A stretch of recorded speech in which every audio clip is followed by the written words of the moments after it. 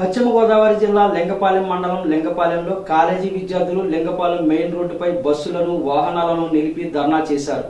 College విద్యార్థులు కాలేజీకి వెళ్ళడానికి బస్సులు లేక అవస్థలు పడుతున్నామని కాలేజీకి వెళ్ళేటప్పటికి లేట్ అయిపోతుందని దాంతో కాలేజీ యాజమాన్యం క్లాసులకి పంపడం లేదని దాంతో మాకు క్లాసులు పోతున్నాయి అంటూ ఆందోళనకు దిగారు. ధర్మాజిగూడెం ఎస్ఐ రాంబాబు సంఘటనా స్థలానికి చేరుకుని విద్యార్థులకు నచ్చజెప్పి ఆర్టీసీ యాజమాన్యంతో మాట్లాడి తగు చర్యలు తీసుకుంటామని హామీ ఇచ్చి విద్యార్థులను పంపారు.